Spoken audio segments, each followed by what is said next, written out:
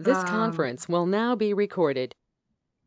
will you be going back over what we did on Tuesday? Because I, I can't speak for everybody else, but it was so fast. I tell you, I, I really didn't grasp it.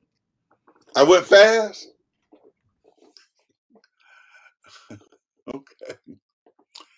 Well, of course, we always go back and review, and so so certainly we're going to review.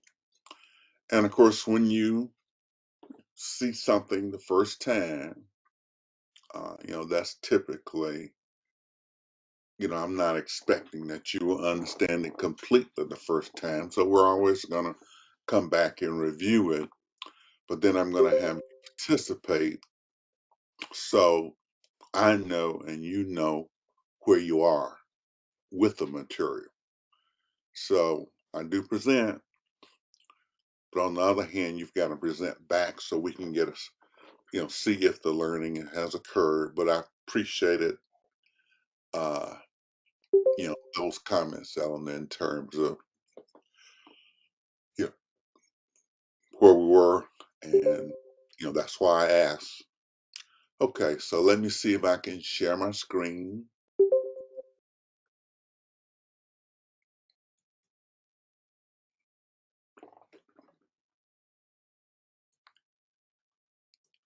And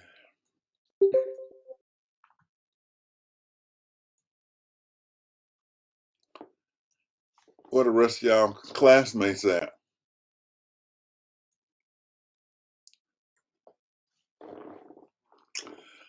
Okay, we began talking uh, last time reviewing the fact that the goal in this course, the ultimate goal in this course is that you've got to be able to prepare an income statement, statement of retained earnings and balance sheet. That's where we are now. And eventually you'll have to be able to do a statement of cash flow. And we have a template for this also. So you will be learning, you know, that's the goal of the course, how to prepare and understand these four financial statements. Now, we talked about generally accepted accounting principles, and I told you you're responsible for knowing each of these organizations the Securities and Exchange Commission, the Financial Accounting Standards Board, the Governmental Accounting Standards Board, and the International Accounting Standards Board. You're responsible for knowing uh, what the responsibilities of these four organizations are. Then I gave you 15 generally accepted accounting principles. The business as a single entity concept, which should be a review of legal environment, specific currency principle, the specific time period principle, the historical cost principle, the full disclosure principle, the recognition principle, the going concern concept, the matching principle, which is a lot of what we're working with today, the principle of materiality, the principle of conservative accounting, industry practices constraints, consistency, objectivity, accrual basis accounting, and the assessment of cash flow prospects. Those are four fundamental, 15 fundamental uh, concepts that guide us in preparing financial statements, and you're supposed to be familiar with those items. Are there any questions on any of that? The four organizations are the 15 generally accepted accounting principles that we utilize in preparing financial statements. Are there any questions?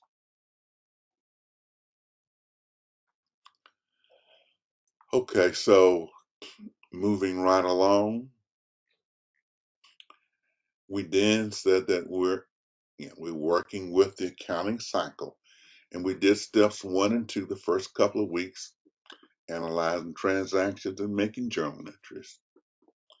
Then we went to steps three and four, posting to the ledger and preparing the trial balance. We skipped steps five and six and went on to seven and eight, preparing the statements and closing the accounts.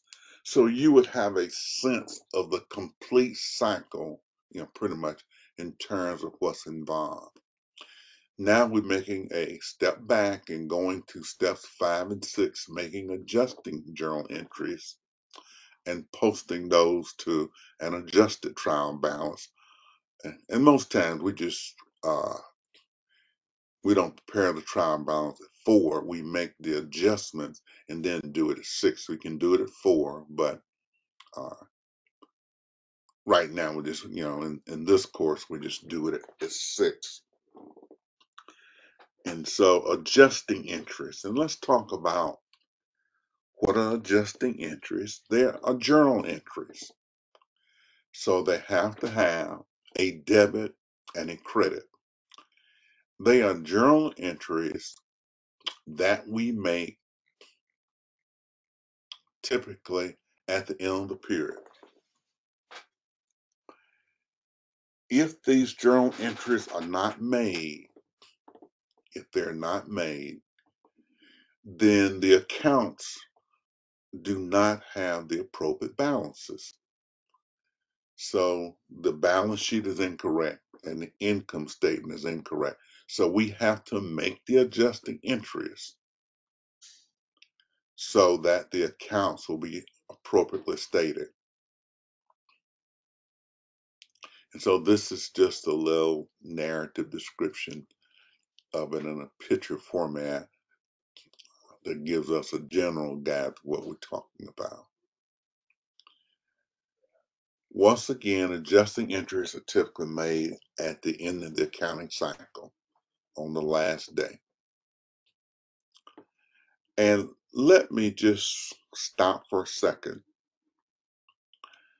I did grade about a third of the uh, midterm quizzes. I graded a third of the midterm quizzes. And it's three observations.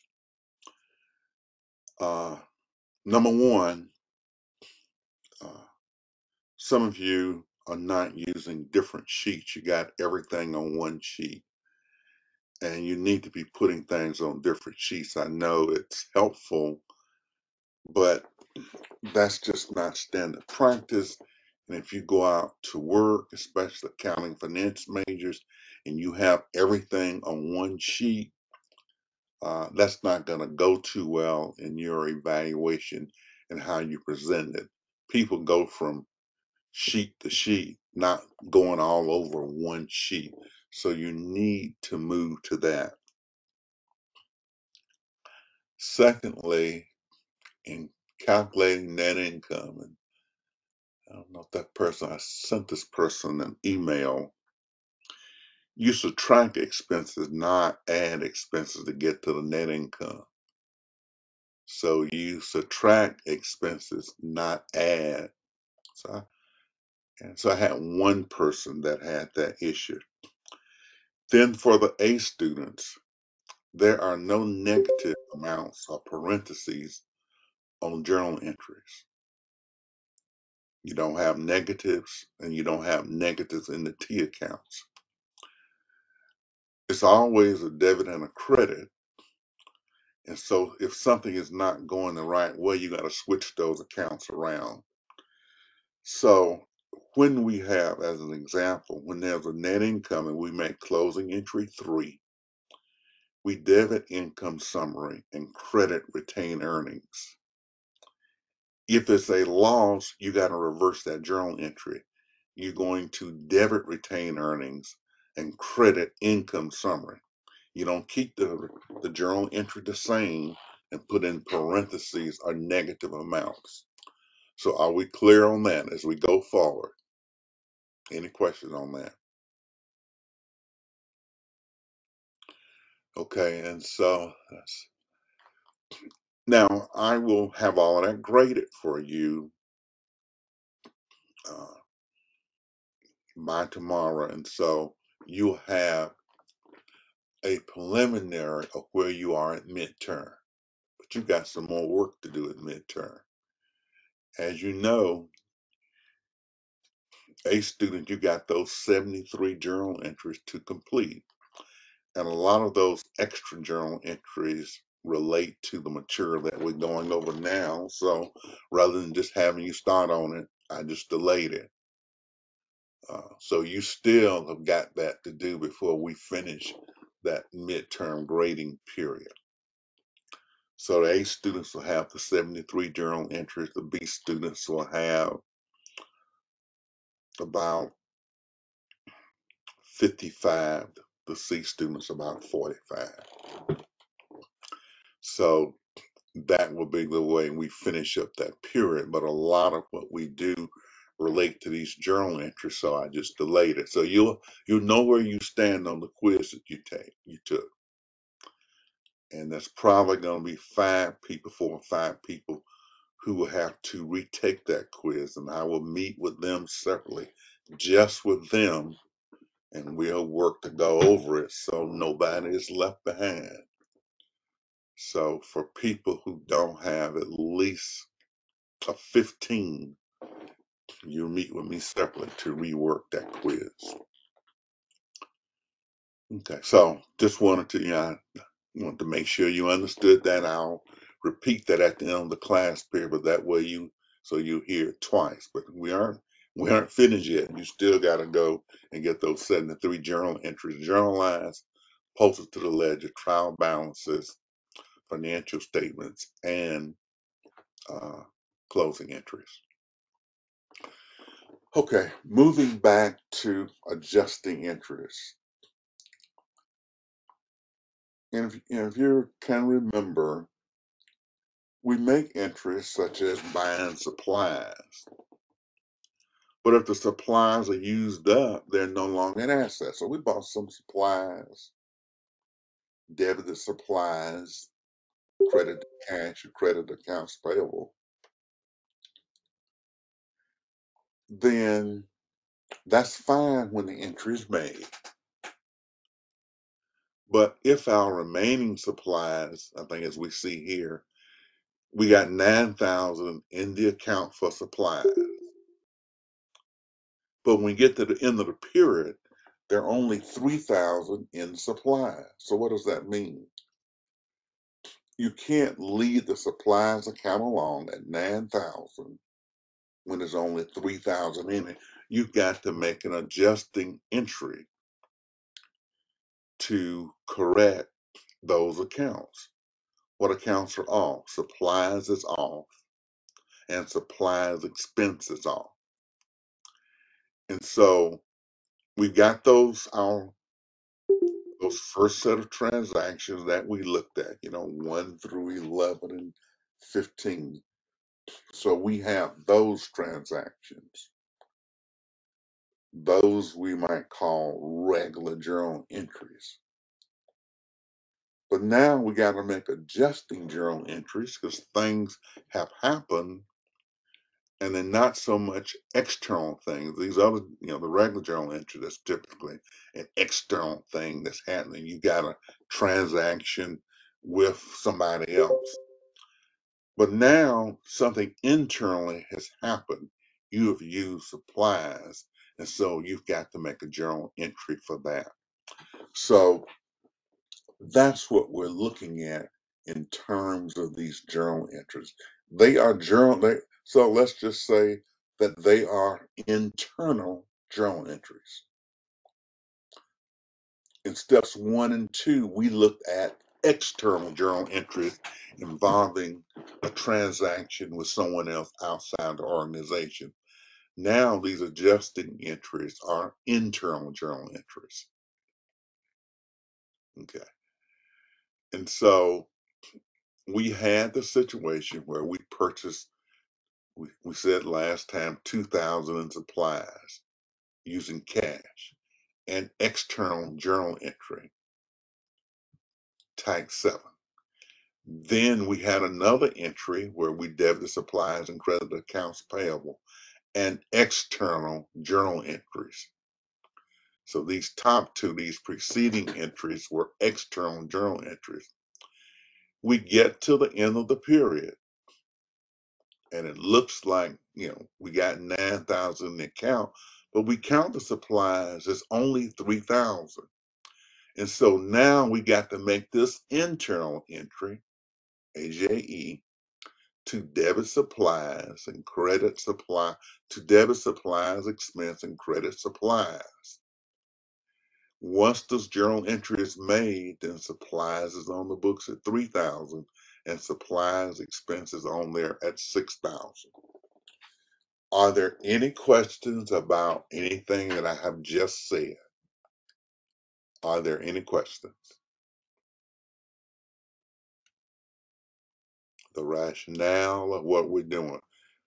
You know, we got to make the internal uh, journal entries. Okay,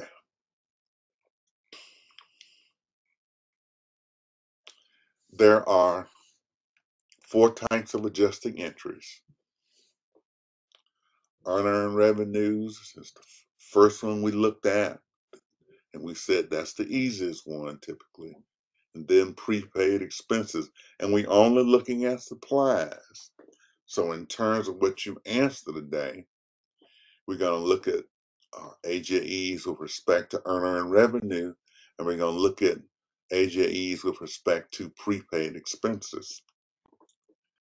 We'll look at accrued revenues and accrued expenses next week. So we're just categorizing uh, the types of adjusting entries.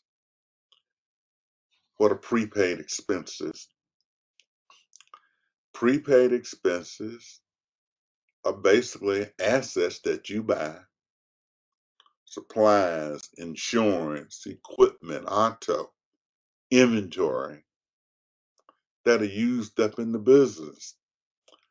And so the AJE is called a prepaid expense because you purchase the asset, but then the AJE records the fact that you use the asset. Then we have unearned revenue. We talked about this last time and gave the example of the purse that costs $80,000. If you're running a business that sells something that costs that much, you're going to ask the person for the cash up front. So you say, okay, you want this, uh, you got to pay me in, in advance. So you debit cash and credit unearned revenue. You hadn't earned the revenue yet but you're not going to go and buy it and then try to collect the cash later. You're going to get your cash in advance. So we debit cash and credit earned revenue. When we deliver the item, we then debit unearned revenue and credit sales of revenue. Unearned revenue, we said, was what kind of an account? A liability account. And being a liability account, you know, we still owe the people the money. We don't get the person in. we got to give them their money back. Only when we get the purse in, give it to the customer, is that revenue earned. Any questions on prepaid expenses and unearned revenue? That's all we're dealing with this week. Any questions? Any questions, Eleanor? Have I slowed down some? Yes, sir. Yes, sir. Yes, sir. Okay. Now let's look at these important rules about adjusting entry. And I told you that, and I told you three times, cash is not in the adjusting entry. Now, it may be in a preceding entry, external entry. It may be in a succeeding external entry. But you can see that if if it's an internal entry, you know, you can't have it involving cash because you already, know, no way to sort of be internally involved with cash in general in terms of making an adjusting entry. So when you get ready to make that adjusting entry, no cash. Second, you always gonna have an asset account excuse me, a balance sheet account and an a income statement account involved in making adjusting entries. You always are going to have an balance sheet account and a income statement account, an account on the left of that chart of account, and an account on the right of that chart of accounts when you make your adjusting entries. So let me just go through this quickly and see if I can get to the chart of accounts. Uh,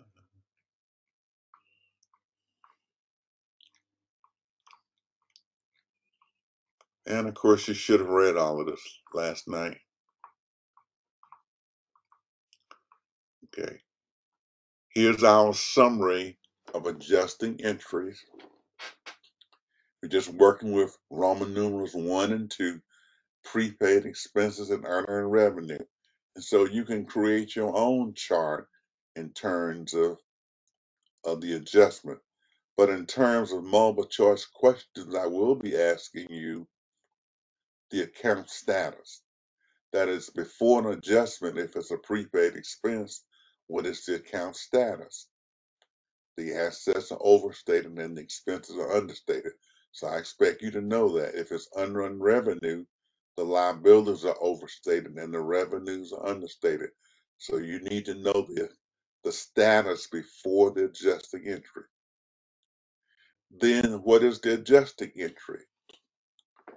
If it's a prepaid expense, you're always going to be debiting expenses and crediting assets or contra assets. So you're debiting an expense and crediting an asset. If it's an unearned revenue, you're debiting liability and crediting revenues. This doesn't change in terms of what's happening. And you got preceding entries when you have items adjusting entries types one and two. So here's your chart of account with adjusting entries, with adjusting entries. And so I said if it's an adjusting entry, Roman numeral one, we're going to have an account on the asset side, on the balance sheet side, and the income statement side. And I got AGA, AJE1 about the accounts. Now, you know, we always debit expenses. So in AG1, AJE1 can involve depreciation, office salaries, insurance expense. Uh, I think that's all of them. Yeah.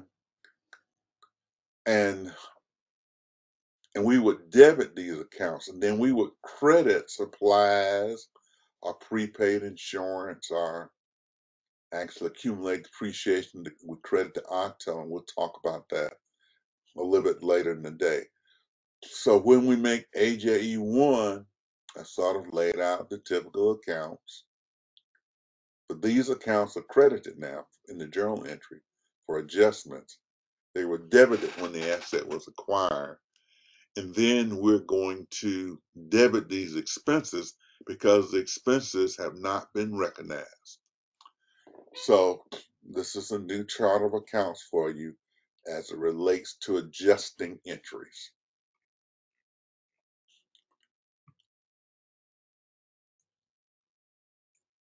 So let's see if we can go back up a little bit.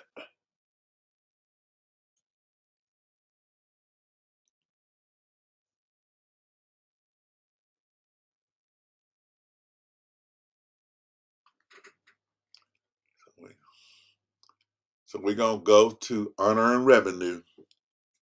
Unearned revenue. And we said unearned revenue was what? Did we said it was, Eleanor? What's unearned revenue?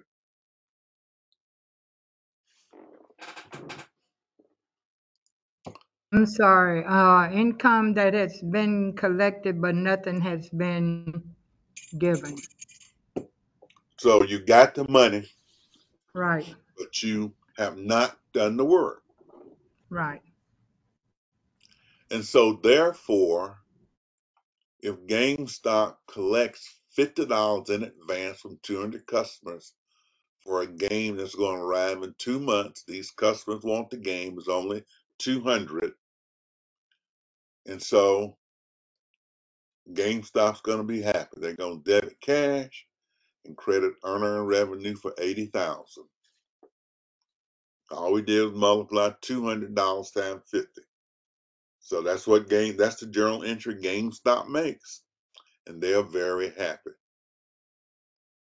They got their money before they did the work. Then when the customers pick up their money, to that, let's look at the accounts. We debit the cash and we credit earner revenue, which is a liability account. When the customers come and pick up the games, we then debit unearned revenue and credit sales. So the unearned revenue is a liability account. So it's a balance sheet account. Sales is an income statement account. And so GameStop is happy to make this entry, debiting cash and crediting unearned revenue. They're also happy to earn that revenue by delivering the product.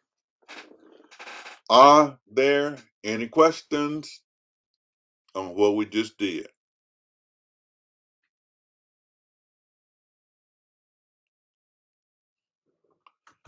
Okay, well, let's see if these people are ready on earning revenue. Let's see if you all are ready.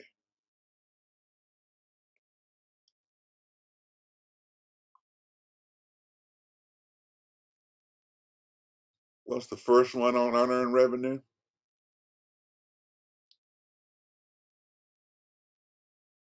Here we go. 22. Who has number 22? Is that Eleanor Thomas? A friend. Yes, sir, I'm here. Okay, let's get to work. Okay, number 22. Assume JHJ GameStop in 2017 receives from 1,000 customers $50 for NBA 2K18. At December 31, 900 customers have picked up their games. Required, record the entry to require to record the receipt of the $50 from 1,000 customers, then make the adjusting entry to record the delivery of 900 games to customers. On my uh, journal, I have my preceding entry, $100 for cash, 50,000 I debited. That's a transaction four. I have 305 for unearned revenue for 50,000.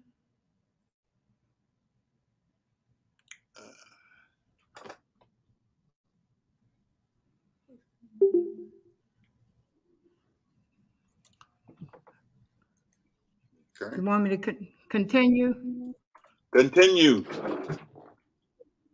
Okay, my next entry is 305 unearned revenue of $45,000. And that's because um, the um, 1,000 customers paid, but only 900 picked up. So I debited 45,000. That, and I was confused, Dr. Boyd, on whether that was a transaction type 20 or 21, because I think it changed last so year. So, 21, that's fine. okay. And then for, uh, I have sales of 45,000 to credit, and that's an account 500. That's for year 2017. Okay, okay are there any my, questions? uh,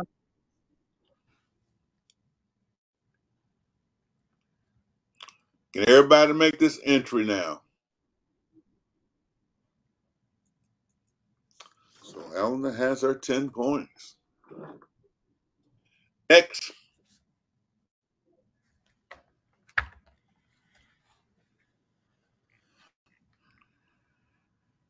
I have number 23. Which one do you have, Burris? 23? Yes, All right. 23. All right. Let me hear about 23. Excuse me. Assume JHJ GameStop in 2017 receives from 3,000 customers $100 for NBA 2K18. At December 31st, 2,500 customers have picked up their games. Um, record the entry to record the receipt of the $100 from 3,000 customers. Then make the adjusting entry to record the delivery of 2,500 games to customers. I have um, the preceding entry for cash. I have 300,000 debiting. I have um, and crediting unearned income for 300,000. Um, for the adjusting journal entry, I have unearned income as 50,000 and I have um, debiting 50,000 and I have sales crediting 50,000. How many of these customers picked up the game? 2,500. So how much cash was earned when the 2,500 games were picked up? 250K. So why you told me 25,000? I, I said 50,000, but I, I guess I had my understanding incorrect because I thought because we unearned was what we did not earn. Yeah, we already got it in the unearned account. Okay, so if it should be GameStop 250. want this to be the situation, if they don't deliver the games, what's gonna happen? The people gonna what? If they don't deliver your game, what you gonna do? Go back and get my money. All right. So the goal is what? To deliver the game and so you can keep the money. That's what that's what GameStop trying to do. So when 2,500 Okay. customers come in there, what's GameStop gonna do? They're going to deliver their games. And then what journal entry are they gonna make? They're going to debit um, 250, 250,000 for unearned income and credit sales for 250K. Okay. And you're not gonna miss this again, are you? No, it was clear when you explained it today, but I had already Oh, my So. I, so you saying I you agree with Alan? I just ran through the stuff and y'all couldn't understand No. I just it's it was just a little confusing. Like I hear different parts of stuff when when you repeat it again, so it was Well, that's why we repeated it. So, Yeah, if somebody else don't say something, you can just get another journal entry and get your points back. Okay. Professor 24. Boyd, can I ask a question? Say what now? Can I ask you a question? Sure. Um, I'm trying to write it down. Like, did you, are we supposed to put the one that she did under the one Miss Eleanor did? Or Well, did you erase eventually, it? eventually, you're gonna sit. You're gonna you you should be. You should have started you a uh, Excel spreadsheet for the adjusting Oh, journal okay. entries. and then you put you, you put your numbers in, and you're gonna have all forty something to turn into me. Okay. So so you putting this on the Excel spreadsheet, filling it in. Since you're AB student, you know you should you know you should be waiting for these other students to fill it in. You should be going on and working and getting them done. Isn't that right, Miller? You already got most of these done, right, Jazz? No, that's not right. That's not right. Mm-mm. All right.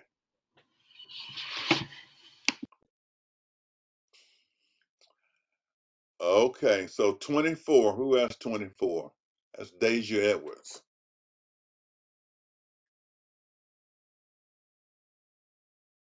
Going once, going twice.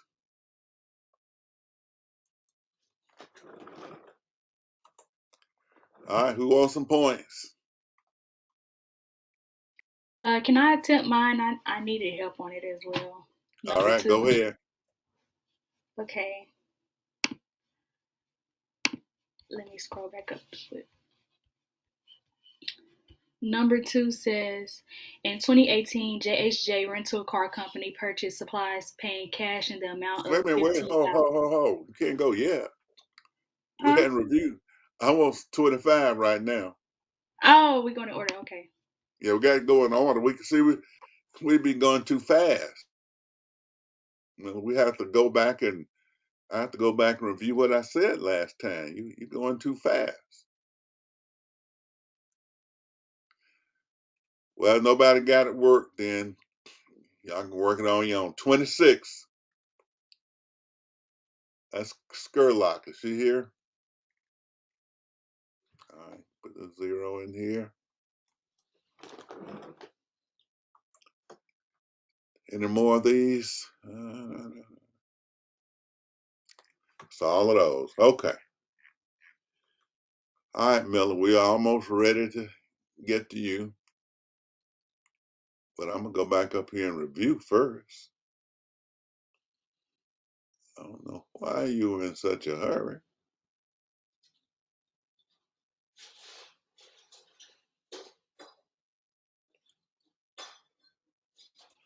Okay, let's talk about prepaid expenses. Now, I expect everybody to be able to do earn income. Prepaid expenses, what you have to realize is that when a business buys something, it's they buying it so they can make money. So buying an asset is not the key. Inventory, supplies, and everything. It's whether or not they generate income.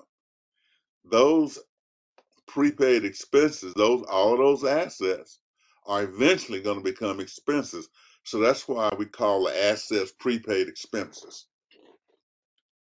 You buy something that has value that's going to be used up, and you need to be generating uh, income.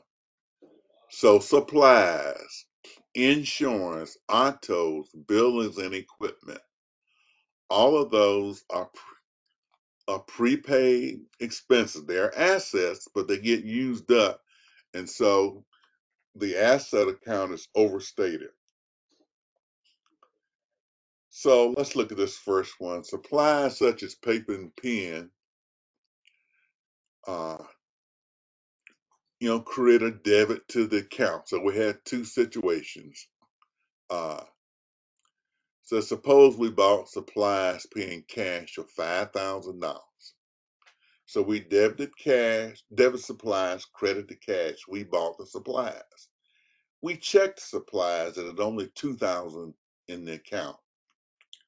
So when that happens, when that happens, we got to make this AJE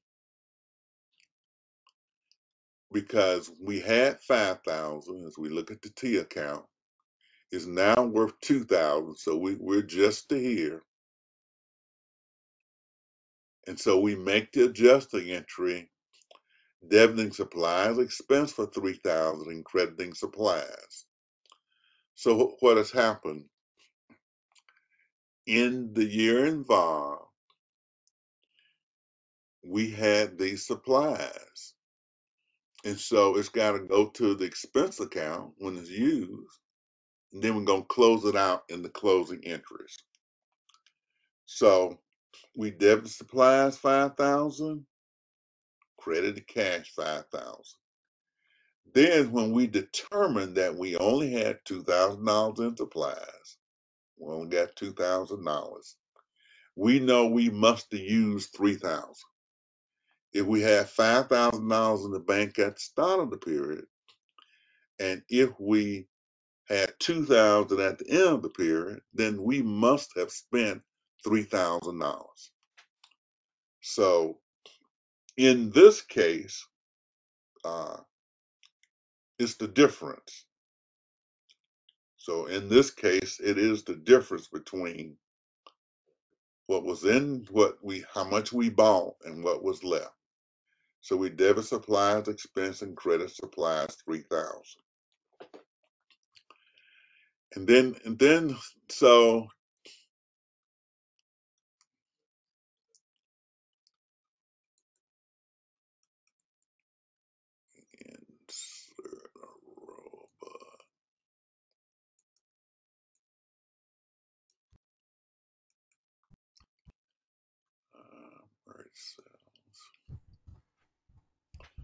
So, so we assume all of this occurred in 2017. So this is 2017.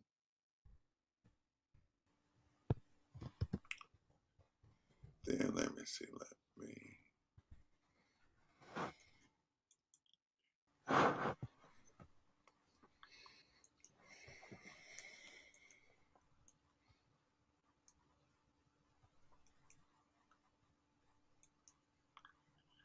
So 2018 is the next year.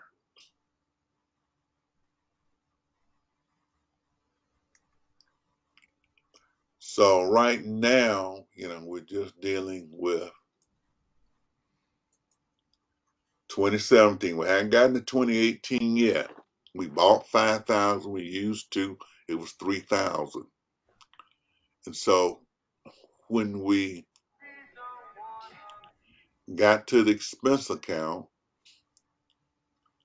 uh, let's see, insert.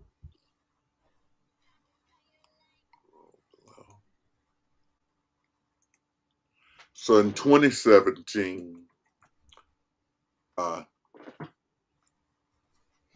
you know, this is what happened.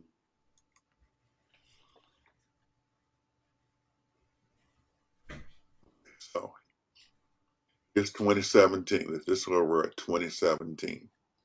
Okay. Now we're getting ready to go to 2018. Okay. So everything was 2017. Now we go to 2018.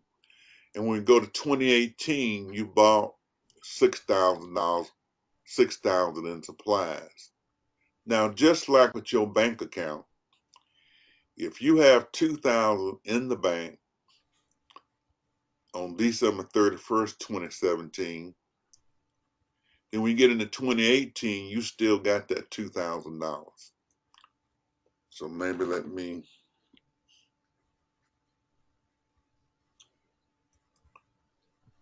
insert.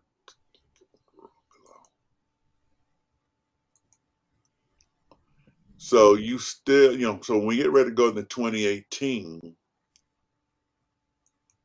you're gonna bring your 2000 with you, okay?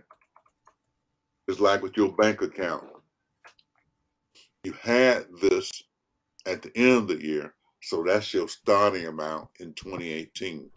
So we got 2,000 and 8,000. We buy and we bought 8,000 worth. So we had 2,000. We bought 8,000. Then we then when we take the inventory, it's only 4,000 in there. So it's only 4,000 in there. So in the first year, it was 2,000 in there. Now, when we get to 2018, we bring down the 2,000. We bought 8,000 more. It's only 4,000 in there. So what's our AJE going to be in 2018?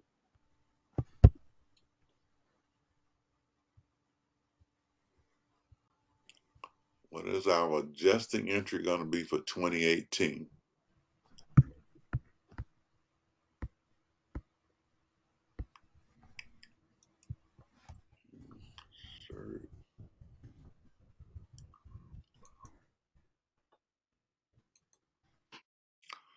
So right now in 2018, we're at 10,000.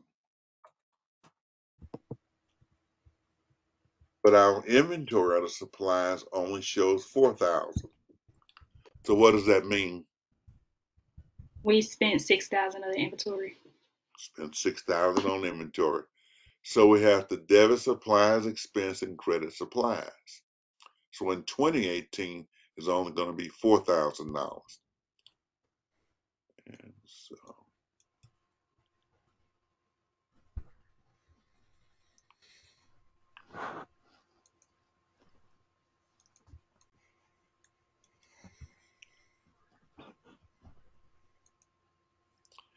And so here we have 2018. And when we make that AJE, we're going to have 6,000 in supplies that year. Once again, we'll close it out with a closing entry.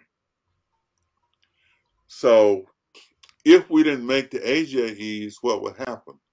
Supplies would have been at $5,000. Then we bought the other eight, it'd be at 13,000.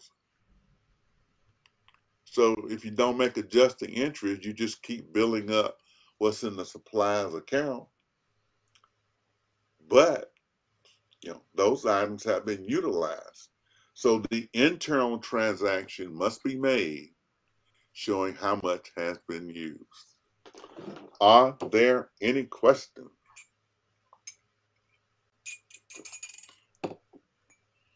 Okay, because Can can you scroll down a little bit?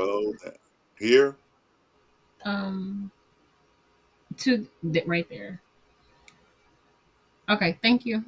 You're welcome. We got to have this quiz today, right? Didn't we say we're going to have a little quiz on this today? Are we ready for the quiz almost?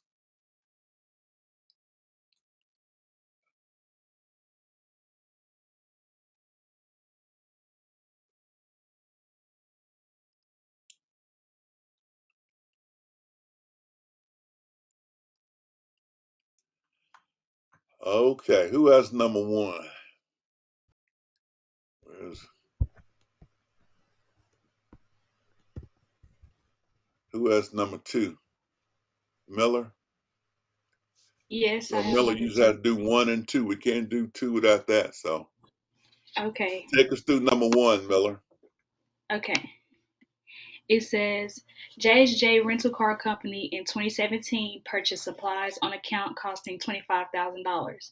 At the end of the year, supplies on hand totaled 5,000. Record the journal entry to acquire supplies and the adjusting entry required at year end. So in the beginning, you purchase supplies on account costing 25,000. So I'm going to debit supplies for 25,000 and I'm going to credit um, accounts payable for 25,000 as well. It says at the end of the year you only had 5,000 on total. I mean 5,000 on hand total. So I'm going to um, debit supplies expense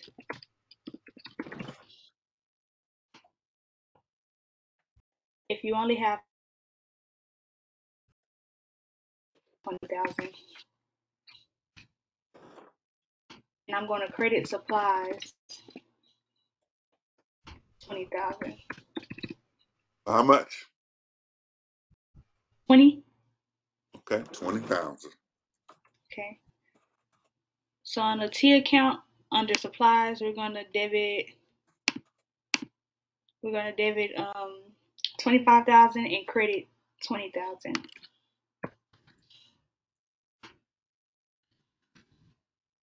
Okay, so when we go to that T account, and this is 2017, Mhm. we said we would put in that T account 25,000. Mhm. For debit and credit um 20,000. So we make the AG, AJE, and so that would mean that what? We have what? We have 5,000 5,000 left left. over? Yes. So now what happens in 2018? Okay.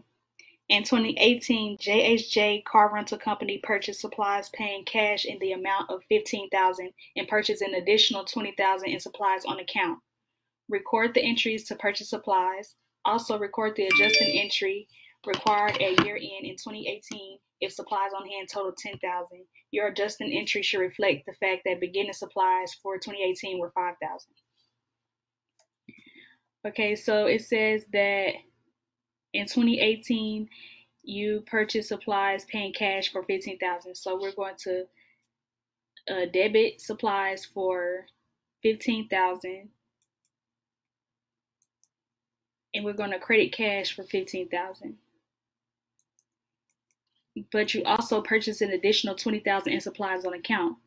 So you're going to debit supplies for twenty thousand and credit accounts payable for twenty thousand.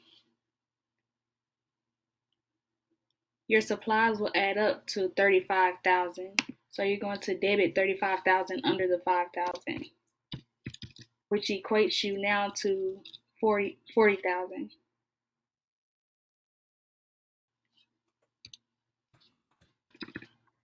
So when we begin, we put these postings in here. Remember, we had five thousand. Mm-hmm. So let's bring our five thousand down. And then we have what?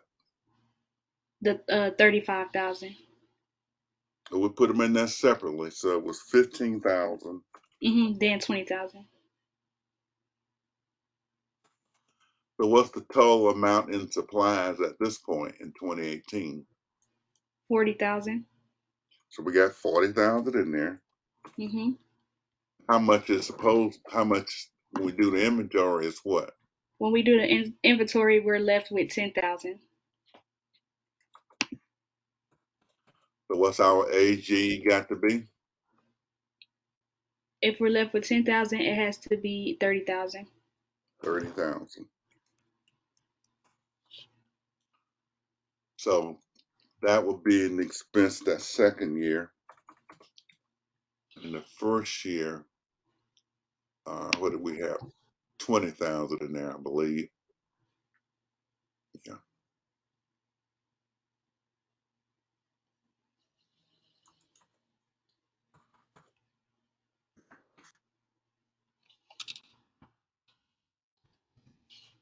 But that first year, I'll just put up here, twenty thousand.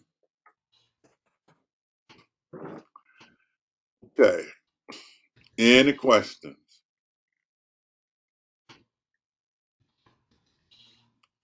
So remember, you keeping track of all of these, and let's see where's Miller at. So we had a good Miller time, so we put twelve points down for Miller since she did an extra one. Any questions?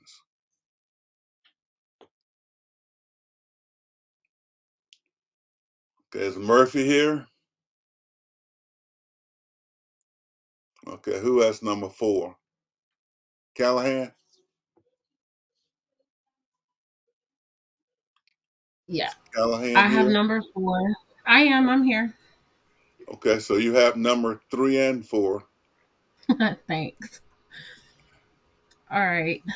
Um, number three, JHJ Shoe Company in 2017 purchased supplies on account costing $15,000. At the end of the year, supplies on hand totaled 5000 uh, Record the journal entry to acquire supplies and the adjusting entry required at the end of the year. So, um, we purchased supplies on account, so I am debiting 15000 for supplies. Um, and we did that on accounts payable, so I'm crediting accounts payable 15000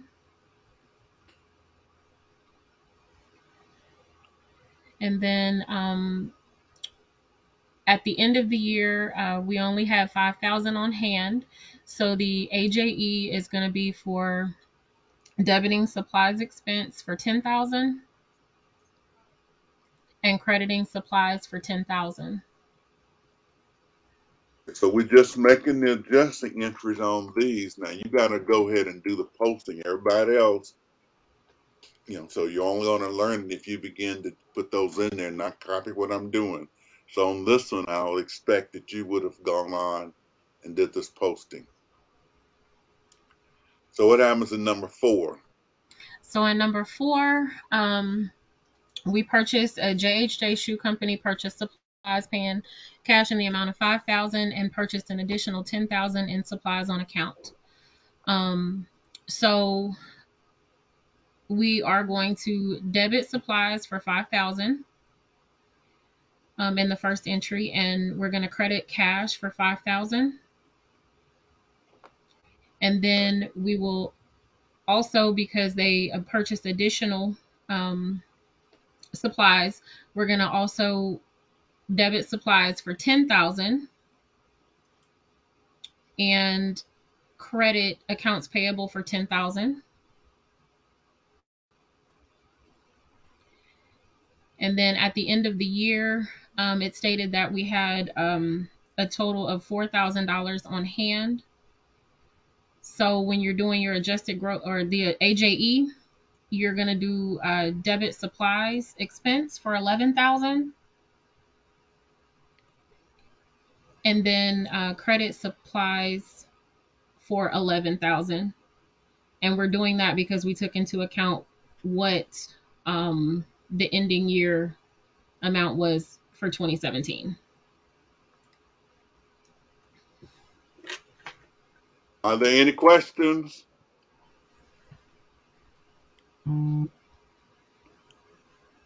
So what I want you to do is to go and put these in the T account. So take a few minutes and put this problem in a separate set of T accounts and see if you understand what's going on.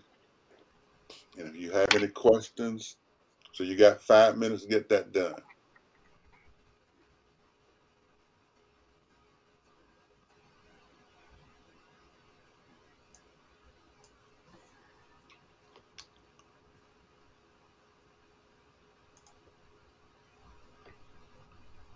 Dr. Boyd, are we going to turn that part in? Because I just did it on the actual Word document. I didn't put it into a spreadsheet this time. I probably should have.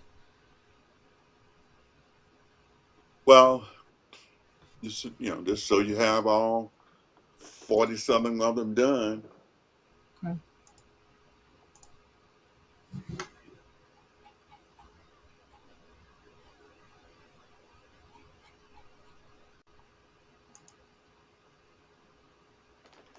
Just so you have 40 something done. Are there any questions by anybody?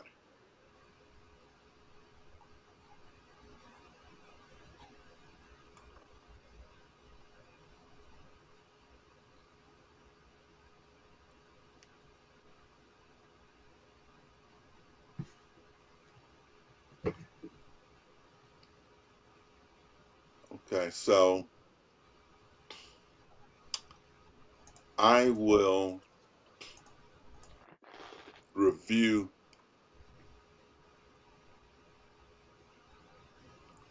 five and six next time. So five and six you'll be on at the beginning next time so that you'll be able to do a review.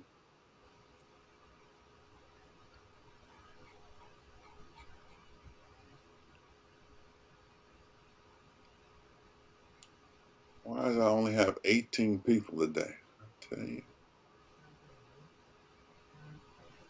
And then they will proceed to email me and want me to answer them in terms of what happened today and what homework is due and everything. Just fill up my emails. Well, I guess my standard thing is going to be come to class, right, Pinto? Just come to class. Okay, let's look at insurance. You see, we've been buying insurance, and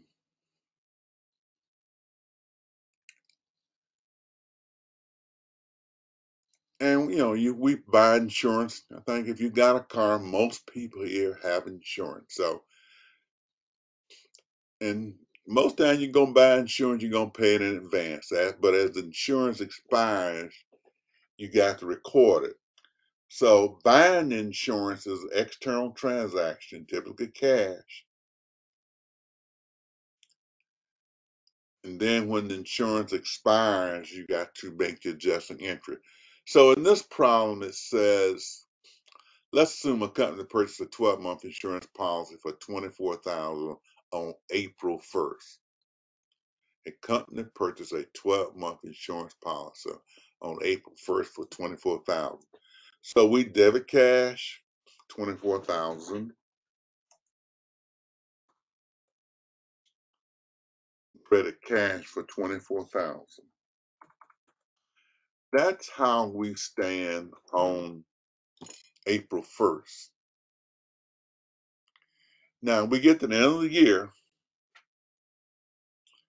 So if you got a 12 month policy, is it still worth 24000 on December 31st?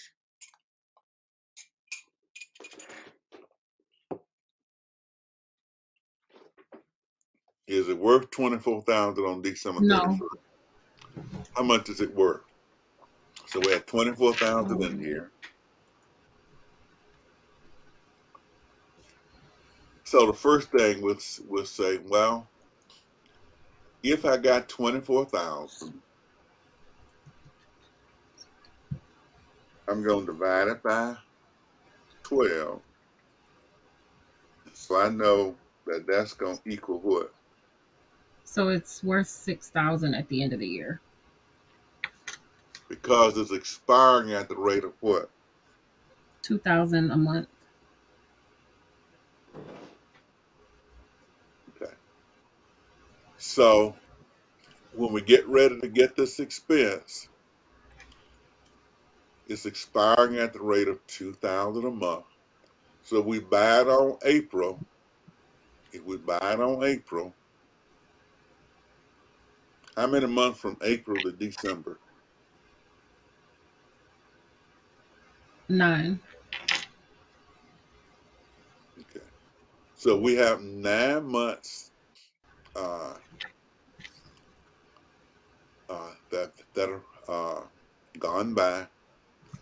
Then that's two thousand a month of what? Eighteen thousand dollars. So does everyone see that? What we're gonna do is to get the monthly expiration rate by dividing by 12 for the prepaid insurance. And then we're going to see how many months were used up. If we bought it on April 1st, then that would be nine months. If we bought it on July 1st, it would be six months. If we bought it on September 1st, it would be three months that we used up. So we calculate the monthly expiration rate Then we multiply that by the number of months that expire. Are there any questions?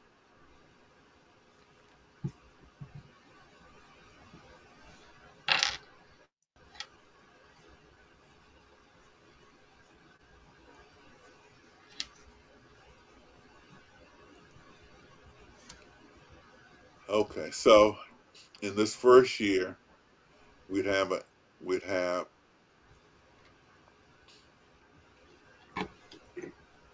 expense of eighteen thousand dollars.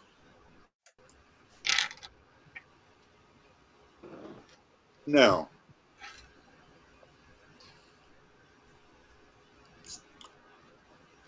let's suppose we go to the next year.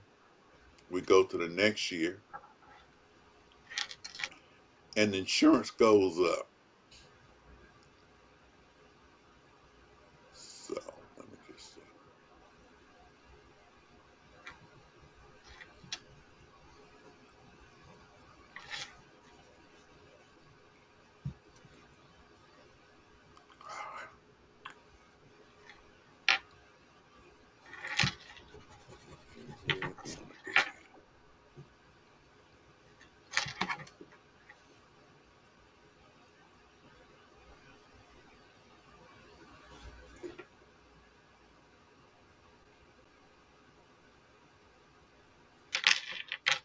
So let's we get to the next year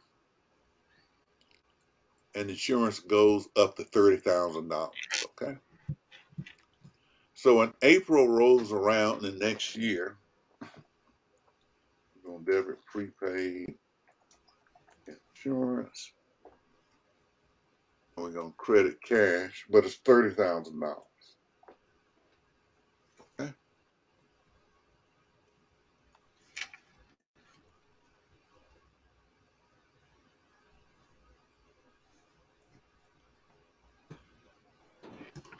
So remember now, this is April.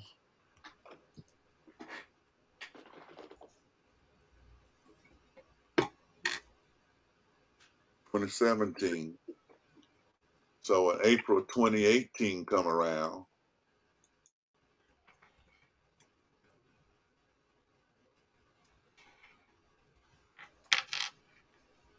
you gotta buy some more insurance. So now, when we get to this next year now, what is gonna be our, so this is twenty seventeen. What's gonna be our insurance expense for twenty eighteen?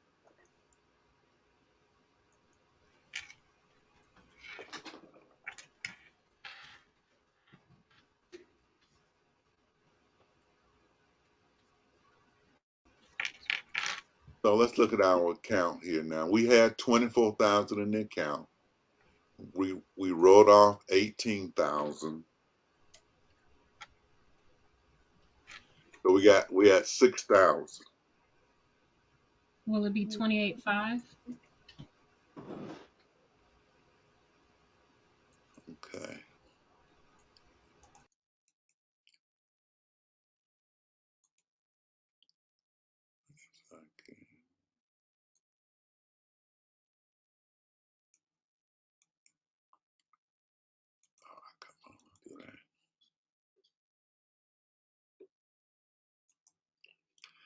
Well, let me ask you this.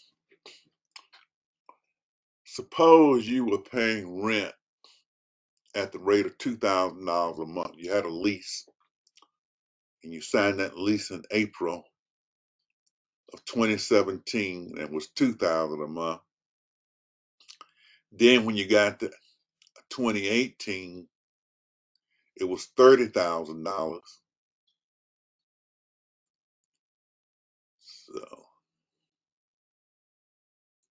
then let me insert row below. Insert a row below. Didn't want to insert it, but we'll we'll work with this anyway. So we were at two thousand a month, but we got to thirty thousand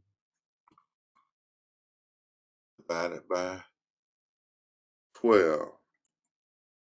So now our rent is going to be what? Twenty-five hundred. So how much rent would you pay in 2018 if that was your situation?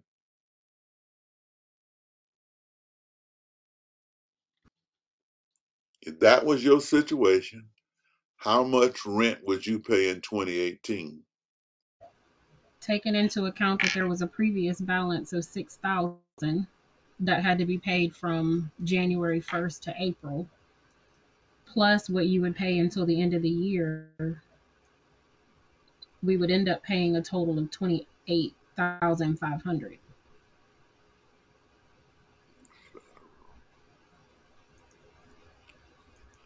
All right, so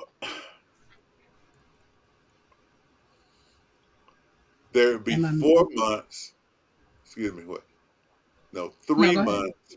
Three months that you pay what? Two thousand dollars. So you'd have three times two thousand. Right. So you pay six thousand in the first three months. Then what's your Mhm. landlord gonna want want for those last nine months? the twenty five hundred dollars a month. He's going on twenty five hundred a month.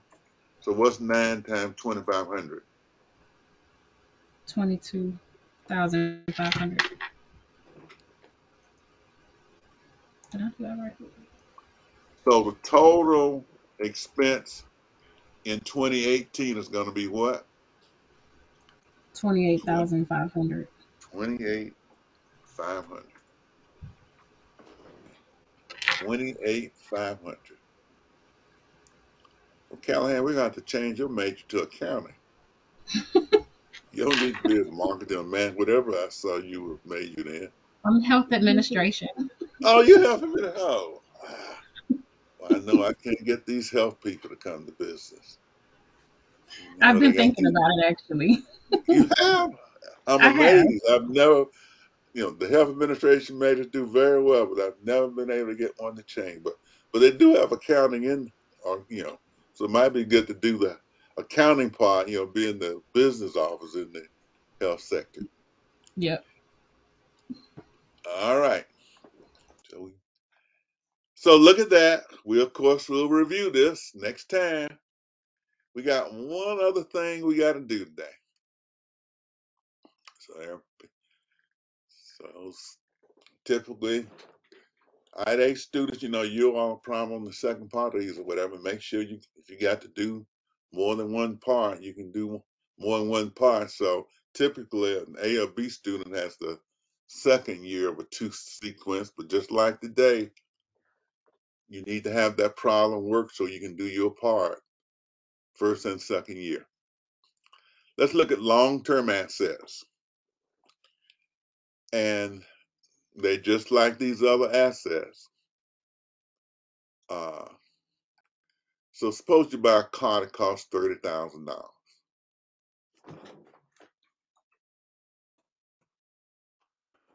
and let's see, pay three thousand down. You made this journal entry a lot of times, so you owe twenty seven thousand. As soon as you drive that car off the lot, what do you know happens? As soon as it hits the pavement, Its value goes down. It goes down.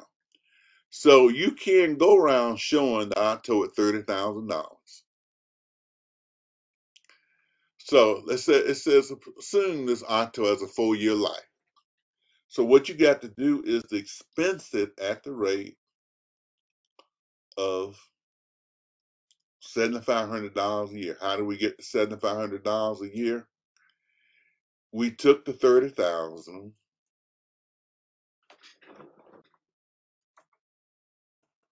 and we simply divided it by four. So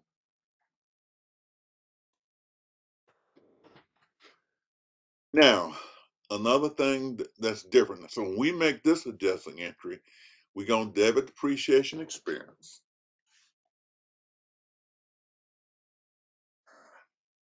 but we're gonna credit accumulated depreciation. What kind of an account is accumulated depreciation? It's a contra asset account. When we have assets that are going to last more than a year, we always want to keep the original costs on the books. And so we'll have the auto account and we're to keep it at 30,000 so we know what we paid for it. But when the expense occurs, we debit the expense, but we credit accumulate depreciation. That way, you know, we know what the asset costs and we know how much depreciation has been taken on it. Now, in the next year, when you get ready to make this adjustment, you know, make the AJE for year two, it's same as it was for year one. So in year two, you uh, credit accumulate depreciation for 7,500 and you debit depreciation for 7,500. So you would continue to make this entry each year for four years. You buy the asset, In year one, you debit depreciation expense and credit accumulate depreciation. You're gonna do the same thing in year two, and then in year three, and then in year four. Now we all you know, we make this entry. What's the best way? In 2017, we don't make it again until 2018. Okay, so you know you only make it one time per year. So if I ask you for the depreciation You give me 2017, 2018, 2019, or 20. You're not giving me all of them in one year. I only want one. You're only writing off one amount. So just keep that in mind. On our balance sheet presentation, when you do the balance sheet, uh, you're gonna show the assets gonna be only at thirty thousand.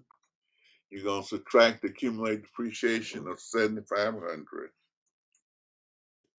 So that asset gonna be twenty-two five hundred. So this is how you're, you know, when you get to those long-lived assets, that's how they look. Original cost less depreciation. In the next year, 2018, 30,000 would be on that balance sheet again. But now the depreciation is gonna be what? 15,000. So we're showing the car worth 15,000. But we're writing it down each period. Uh, we always showing the original cost, but we're reducing it by the depreciation that has accumulated. So we're going over a little bit. We will, of course, review this next time, but the people who are assigned in this next section, you need to be looking at this and working. We're going to review this, but all of these people who are here, you all will be up next time. Any questions? See if I can stop sharing. Okay. So anyway, that group will be up. We're gonna go and review this next time, just like we did before. But if you've been assigned an AJE, then you got to work on your 10 points and you got to get it done. If you're on that prepaid insurance, if the person ahead of you don't answer, then you expect it to answer because you we got to see the whole thing. So A and B students are typically on that second leg. So Muhammad, you got to answer all of it. If the first person not here, got it? All right. So we're working with adjusting entries. They're not like those regular ex- external interests where I told you what the amount was. Elders is agreeing with it. You got you got to do some work now. You got to think and calculate. But White and Haddon, you you all gonna be experts on this like y'all on everything else. So this is new and different, but you know that's that's why we're here. You paid your money, and I'm gonna make sure you get your money's worth, if not more. Isn't that good? That you know you pay your money and you and you know your money's not being wasted. Isn't that a good situation? Pinto, is that a good situation? Okay, so we will take our time and work with it. Now, see, students, I'm not gonna strain you so much. All you got to be able to do is unearned income and supplies. So if you're a C student That's all you got to be able to do. Unearned income and supplies. I'm not gonna overwork you. Now these A and B students, I got to be able to do everything, but I, I I'm not gonna frustrate my C students trying to get them to learn everything. They get you know they get depressed and everything. We don't want that to happen. So right, Pinto, we we, we so so anyway, no, just you know I have to you know make sure I'm reaching everybody, so everybody will be reached but nobody will be underreached. Okay, nobody's going to be underreached. So look at this. So remember, you're responsible for all of those AJEs. We should have most of them finished, but you got to get them all done. Uh, I'll be Professor also I'll be letting you know probably sometime tomorrow also uh, on that journal entry study problem how many you got to do to finish up. How many you got to do so you can go through all the steps all the way through. Uh, I guess step eight just about, which is, you know, the closing entries, but you got to have a lot more journal entry. You're going to be need to be doing sheet one, two, and three. Because you got, you know, you have 70 journal entries, Muhammad. Yeah, he- Professor Boyd, Yes. what do they have next? Just this inventory? Y'all got to do statement of cash flow too. Oh, they gotta do that too? Yeah. Wait a minute. What do you mean next? Oh, In the course, after AJE. Mm-hmm. cash statement of cash flow. Then got to learn how to do the statement of cash flow. Then inventories. Oh, So we got plenty of time. You know, we got plenty of weeks.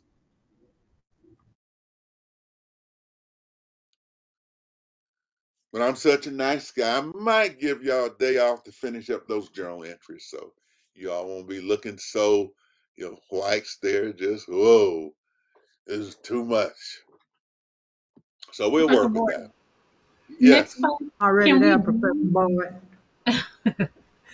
Professor Boyd, next class, can we do it on a spreadsheet so that we can kind of see what that's supposed to look like with the adjusted with the AJEs and what it looks like on the chart of accounts or not chart of accounts, sorry, the T accounts? Okay. We'll do that. That's a good idea. So we will pull the spreadsheets out next time. So